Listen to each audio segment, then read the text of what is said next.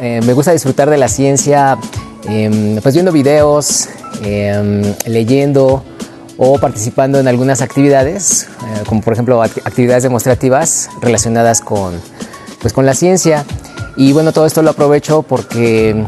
Em, pues gracias a esto he podido entender un poco más acerca del mundo y pues en mi vida cotidiana pues pongo en práctica muchos de, estas, de estos temas, eh, principalmente en las actividades laborales, ya que en el trabajo donde me desempeño pues tengo que explicar mucho de estos temas, principalmente eh, sobre las ciencias naturales.